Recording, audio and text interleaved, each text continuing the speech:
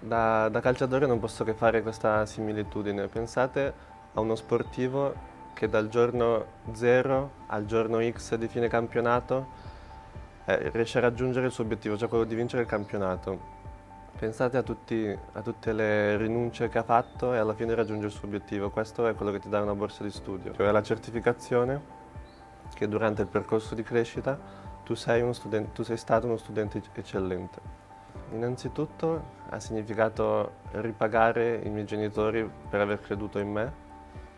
Secondo, ha avuto un significato più profondo per me stesso. Io ho rinunciato alla mia precedente carriera per, eh, appunto, per venire qua alla LUIS e non sapevo mai se anche questo percorso fosse quello veramente giusto per me.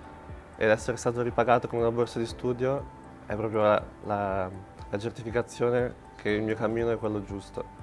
E quindi ho trovato la mia strada e, e sono, appunto, sono stato ripagato per questo. La LUIS offre un tipo di formazione che è quella richiesta dalle, dalle aziende, cioè completa, rivolta verso l'eccellenza.